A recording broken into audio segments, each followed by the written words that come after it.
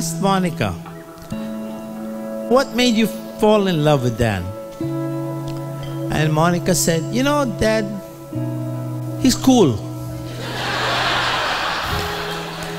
and being the generation that we are, we don't understand the meaning of he's cool. Honestly. So I asked her, Exactly what do you mean by cool? You know, Dad, he chills. He's a chill guy, you know? Yeah. He said, No, he's a good person. He has a good heart. I feel comfortable with him. He loves me and I love him. And when she said that, I said, That's good enough for me. I always used to tell her there are two things very important to me. One is be a good person, and the second thing is, I want you to be happy. Life is too short. As long as you're happy, I'm happy. For seven lifetimes, right, babe?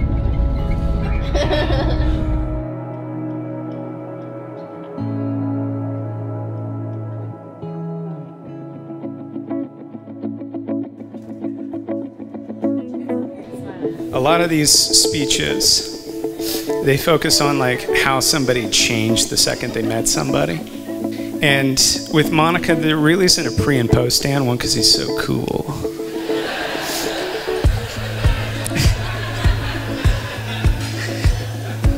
but but actually i think of it as because uh, both of them became more of who they already were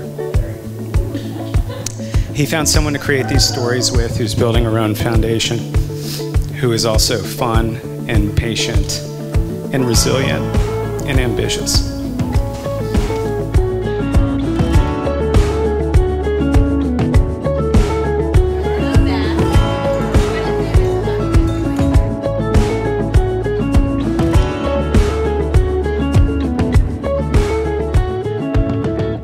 We went on our first date almost five years ago, after you lost your car keys and your phone battery died, I remember thinking to myself in the Uber ride home, man, this guy is so cute and really charming, but he is so disorganized. I never told you this, but I very clearly remember thinking to myself, this would be such a cute first date story to tell at our wedding during our vows. Thank goodness we got past that first date. And here we are, getting married, and I couldn't be happier.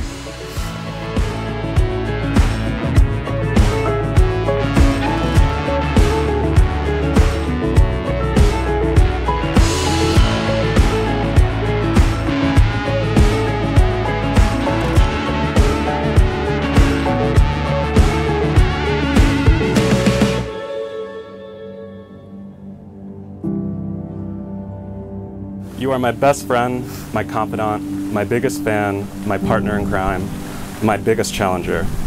But most importantly, you are the love of my life, and you make me happier than I ever thought possible. I wish I could stand up here and promise you the world, but it's not mine to give. What I can promise you is my world and all that that entails. I promise to respect and cherish you as an individual, a partner, and an equal, knowing that we do not complete but complement each other. I promise to seek a deeper understanding of your wishes, your desires, your fears, and your dreams. I will support you through your misfortunes and celebrate you with your triumphs. I promise to treat you with compassion rather than fairness because we are a team now and forever.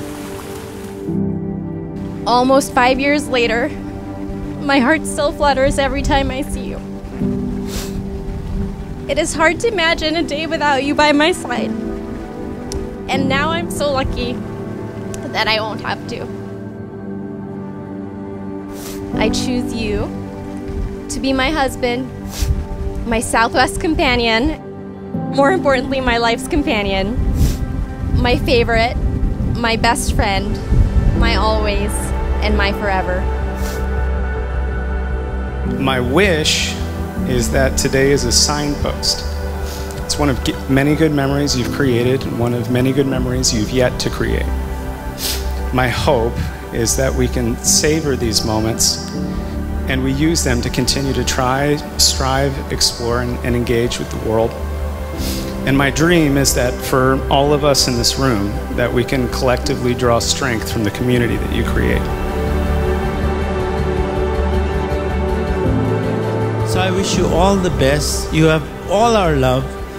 May they have children who make them proud and whom they be, be proud of. May they always be surrounded by people who love them and whom they love. Cheers.